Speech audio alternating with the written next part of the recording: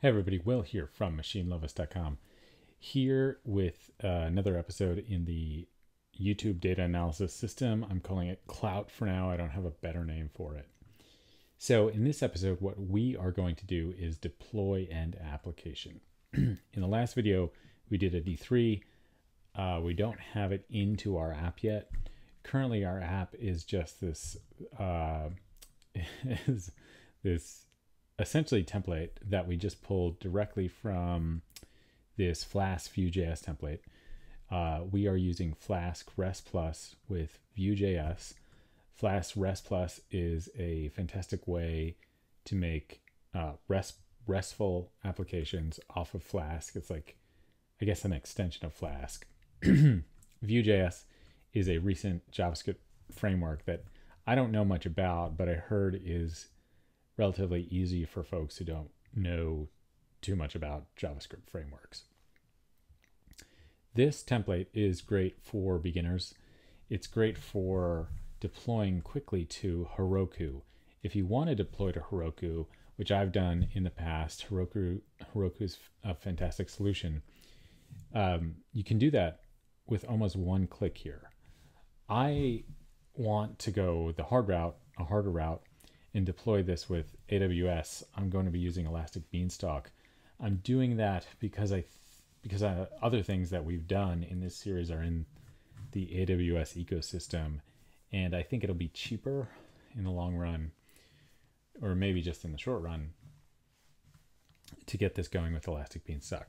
So stick around. In this video, we are going to take this uh, Flask Vue.js template uh, which we have we have been working on. We've we've been working inside a little bit. It's just the place where the code that we've been doing has lived, and we are going to uh, deploy it to Elastic Beanstalk. Okay, so if you download this template and follow the instructions that are in here, uh, you'll eventually get to this live demo.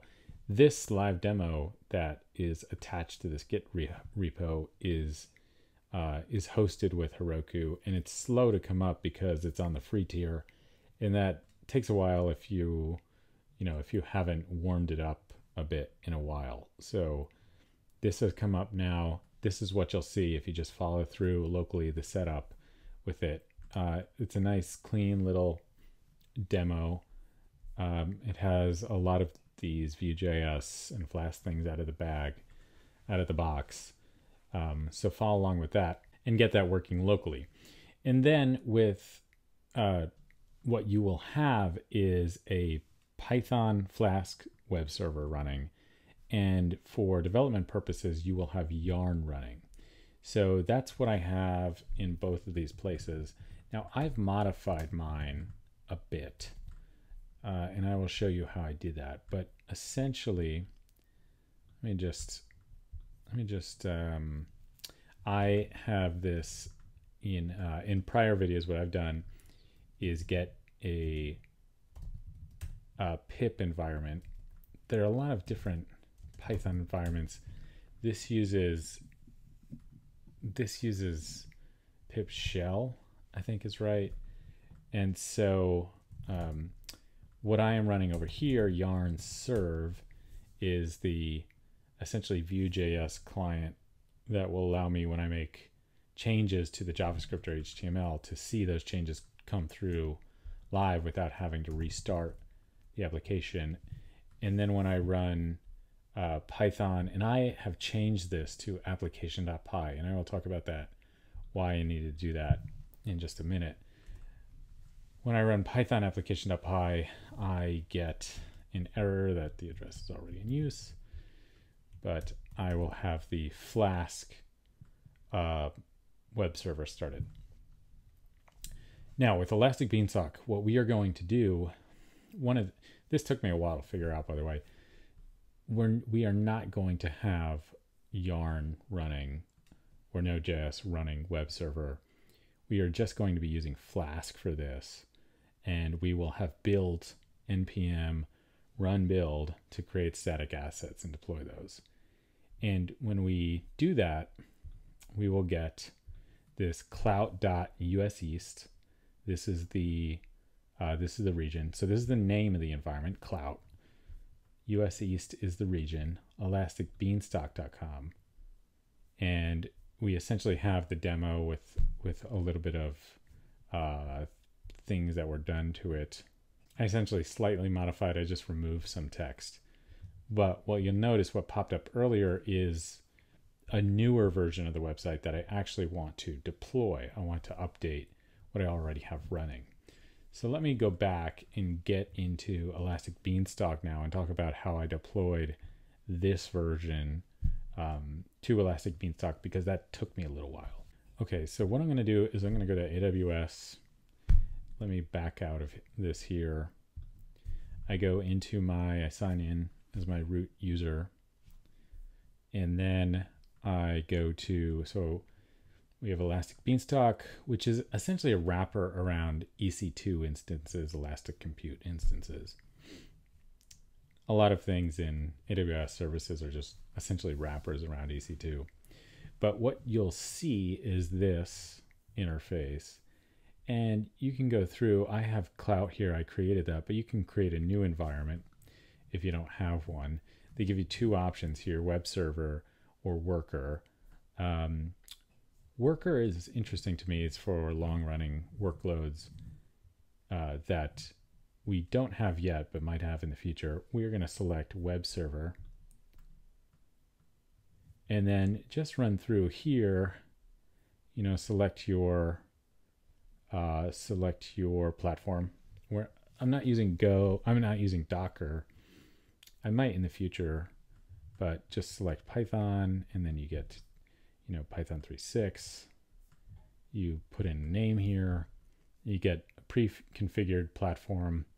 You don't really do need to do anything. You could upload your data as a zip file. I prefer using the terminal client tools. And then when you click create environment, it'll essentially bring you to uh, to this. Okay, which will give you a running version, the configuration, a health check. There are a lot of things here that you can check out, logs. There are a lot of things here, and um, I won't pretend to know all of them. So just just check it out. Um, but what what this is essentially is just a running instance that you can start uploading code to. And how you do that, I do it through uh, a terminal. Once you get your permissions and all the configuration set up, which um, isn't really too bad, what you have is this EB command, which is Elastic Beanstalk, where you tap into all of this. And uh, it's configured here that I can deploy via a branch. I accidentally named a branch Y, but I merged all of my features that I wanted um, that I wanted to check out. I merged those all to master. And I'm not sure why master is having an issue at the moment. Let me just pull. So what am I going to be able to do now? So what I'll show you is how you can actually SSH into your running machine, how you'll deploy. What our goal for this video is, is to get this you know, revamped outline of the website deployed. This is currently in my local dev environment. I want to get it deployed here into Clout and, and to have it show up. Okay, so I am on master. And so there are a few critical commands. What I'm going to do is because I'm on master, I'm going to go eb deploy there's some EB commands that you need to do before this uh, to set up your website. But what this is doing, it's creating a new version archive. And then it's going to upload the upload that version to my running Elastic Beanstalk instance. Now, I think Elastic Beanstalk will host up to like 500 different versions actually physically on the machine. And what's neat is in just a minute we can SSH into that machine and see what's going on there. While that's uploading, let me talk a little bit about what you get. So here is, let's see.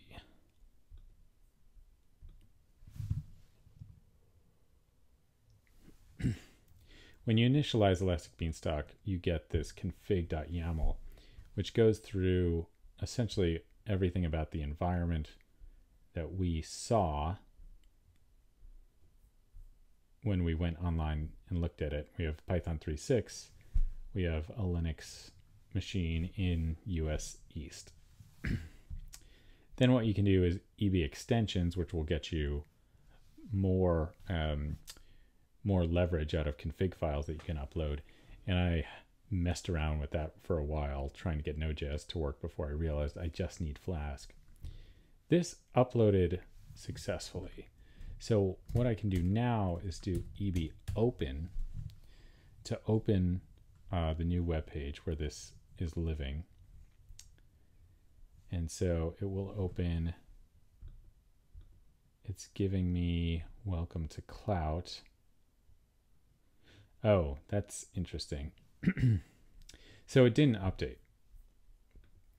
It didn't update. I wanted I want this. This is the version that I see locally that I've spent time manipulating and this is the older version that's not very interesting to me.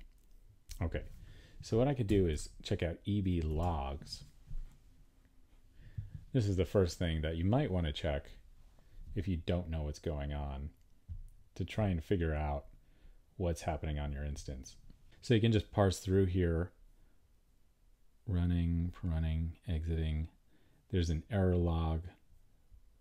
So it looks like there were some errors. There's no no such file directory, current app dist. So there's a lot of interesting things that you can figure out here just by taking a look at the logs and reading through it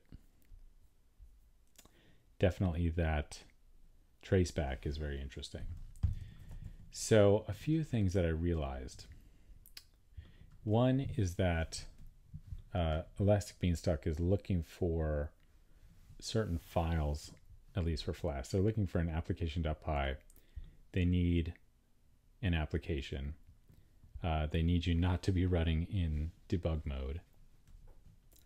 They're also looking for uh, at least for static sites, uh, the static URL path.